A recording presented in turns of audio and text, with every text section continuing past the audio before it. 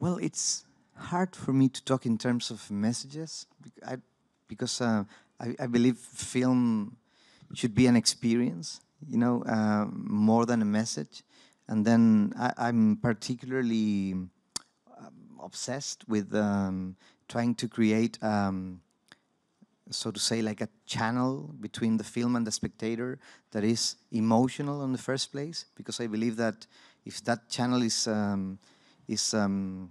carefully created or built, uh, through it, all kinds of, uh, let's say, messages or ideas um, can can travel through through that channel and can really um, grow within the spectator, but in a stronger, in a very strong way because it's not it's not intellectual in the first place. It's emotional.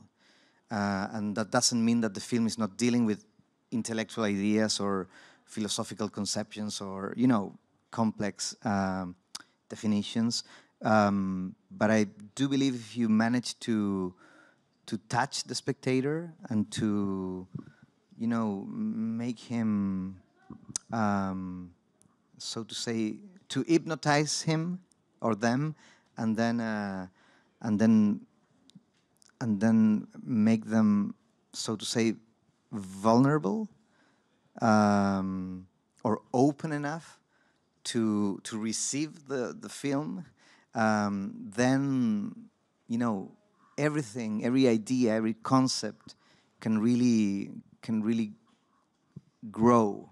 within the the spectator. So so I hope that that happens again with this film.